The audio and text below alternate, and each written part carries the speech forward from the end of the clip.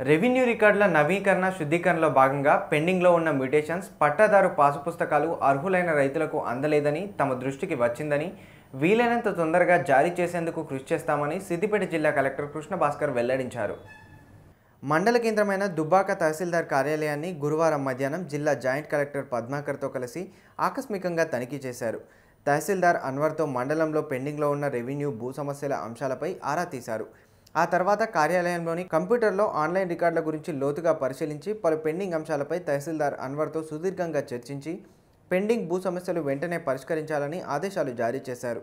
ఈ మేరకు దుబ్బాక మండలం పెద్ద చికోడు గ్రామంలో పరిష్కారానికి నోచుకొని భూ రెవెన్యూ సమస్యలు చాలా ఉన్నాయని సోషల్ మీడియా వేదికగా ఫేస్బుక్లో ఓ సామాన్యుడు చేసిన పోస్టింగ్ చూసి కలెక్టర్ కృష్ణ భాస్కర్ స్పందించారు. పెద్ద చికోడు గ్రామంలో భూ రెవెన్యూ సమస్యల పరిష్కారం కోసం మేళాను నిర్వహించాలని ఉదయమే తహసీల్దార్కు ఆదేశాలు ఇచ్చిన నేపథ్యంలో జిల్లా కలెక్టర్ జేసీలు కలిసి గ్రామంలో భూ రెవెన్యూ సమస్యల పరిష్కారం కోసం జరిగిన మేళాను పరిశీలించారు.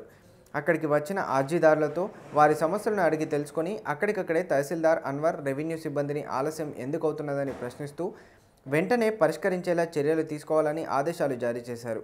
ఈ కార్యక్రమంలో దుబ్బాక మండల రెవెన్యూ సిబ్బంది తదితరులు పాల్గొన్నారు. ఓకే.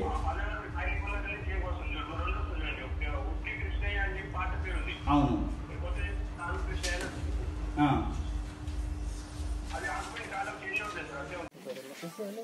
అంటే ముందు నుంచి ఎనిమిది ఎకరాలు ఉందా లేకపోతే ఇక్కడ తప్పైందా?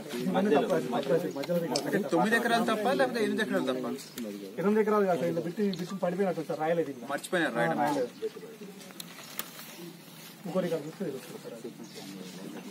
ఒక విషయం మీరు అర్థం ఎవరు ఇప్పుడు ఎవరు కావాలి మీ నుంచి భూమి తీసుకోలేదు మధ్యలో తప్పైంది ఎవరు? వాళ్ళు కావాలని. ఒక- ఒక సర్వే నెంబర్లో పది గుంటలు ఉంటే ఎవరు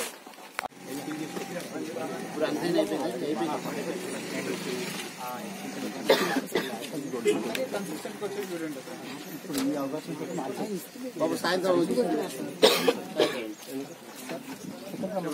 అరే